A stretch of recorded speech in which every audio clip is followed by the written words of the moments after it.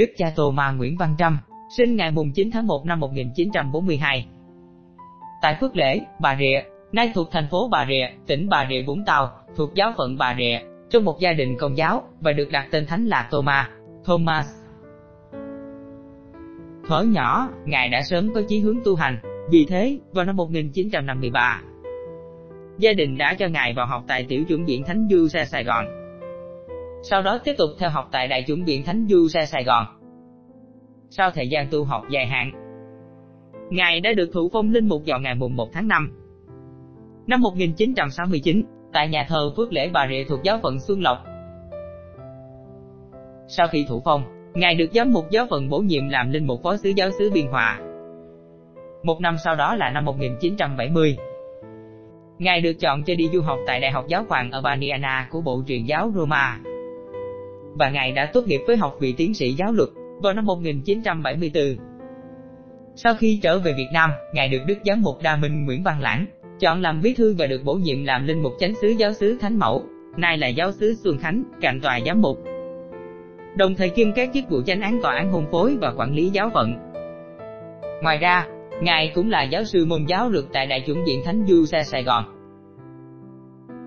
Ngày 6 tháng 3 năm 1992, Tòa Thánh Loan Tình Đức Giáo hoàng Gioan Phaolô II đã bổ nhiệm Ngài làm giám mục hiệu tòa ILTA. Giám mục vụ tái giáo phận Xuân Lộc. Thánh Lễ tấn phong cho Ngài được cử hành vào ngày mùng 7 tháng 5 năm 1992 tại khuôn viên tiểu chuẩn viện Thánh Paulo. Giờ Đức Giám mục chính tòa giáo phận Xuân Lộc Paulo Maria Nguyễn Minh Nhật làm chủ phong. Hai giám mục phụ phong là giám mục Nicola Huỳnh Văn Nghi, giám mục chính tòa giáo phận Văn Thiết và giám mục Paulo Nguyễn Văn Hòa, giám mục chính tòa giáo phận Nha Trang. Khẩu hiệu giám mục của ngài là hiền lành và khiêm nhường. Năm 1993, tòa thánh bổ nhiệm Đức giám mục giáo phận Phan Thiết Quỳnh Văn Nghi làm giám quản tông tòa của tổng giáo phận thành phố Hồ Chí Minh. Vì việc bổ nhiệm này, giám mục Nghi từng ngỏ ý với giám mục Nguyễn Minh Nhật để ngài làm giám mục chính tòa. Tuy vậy, sau đó việc này bất thành do ngài chỉ mới là một giám mục mới được phong chức và giáo phận Phan Thiết, là một giáo phận lớn. Vào năm 2004, khi giám mục chính tọa Xuân Lộc Phaolô Nguyễn Minh Nhật hồi hưu, kế vị giám mục lú đó đất là giám mục Đa Minh Nguyễn Chu Trinh. Nguyên nhân là ngài được sắp xếp để chuẩn bị làm giám mục tiên khởi giáo phận Bà Rịa, chuẩn bị được tách ra vào một năm sau đó.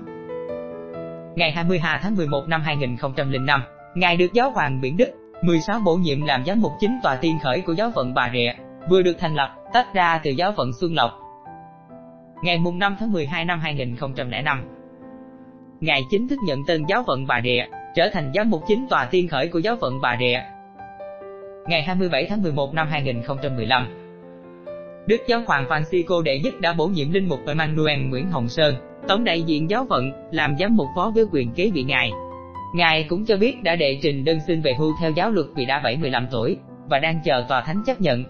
Ngày mùng 6 tháng 5 năm 2017, giáo hoàng công bố quyết định chấp thuận đơn xin về hưu của ngài. Giám mục phó Emmanuel Nguyễn Hồng Sơn, đương nhiên kế nhiệm ngài trên cương vị giám mục chính tòa giáo phận Bà Rịa.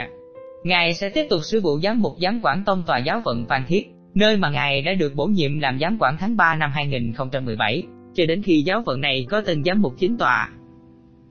Ngài đã kết thúc chức giám quản tông tòa giáo phận Phan Thiết vào ngày 12 tháng 12 năm 2019, là ngày Đức Giám mục Du Xe Đỗ Mạnh Hùng nhậm chức tại đây. Ngài cũng chính thức nghỉ hưu vào ngày 12 tháng 12 năm 2019.